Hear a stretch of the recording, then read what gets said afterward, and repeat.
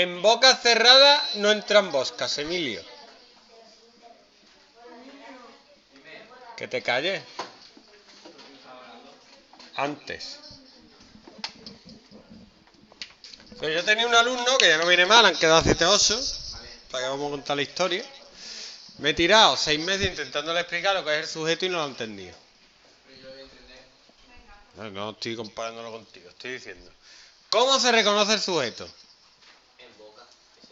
No, eso es lo que hacía este muchacho.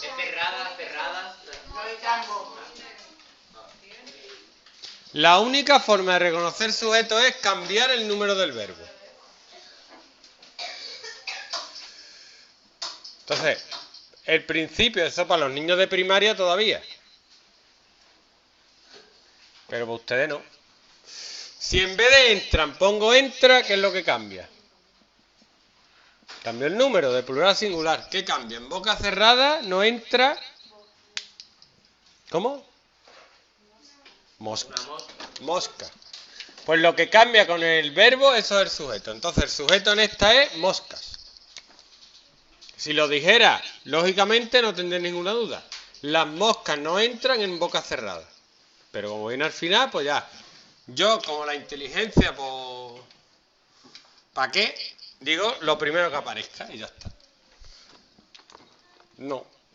Hay que hacer eso. Entonces, esto sería sintagma nominal sujeto. Ahora, el resto es sintagma verbal. ¿Qué tipo de predicado es? ¿Nominal o verbal? Verbal, porque no tiene el verbo ser, estar o parecer. Predicado verbal. En boca cerrada es un sintagma preposicional, no es un adverbio. Por tanto, es un sintagma adverbial. Y entran es el verbo. ¿Cómo ponéis? ¿N, V o qué ponéis? Núcleo del sintagma verbal. Y ahora busco las funciones. La función del sujeto ya la he encontrado. ¿Tiene atributo? No, porque no tiene verbo ser al parecer. ¿Tiene complemento directo? No.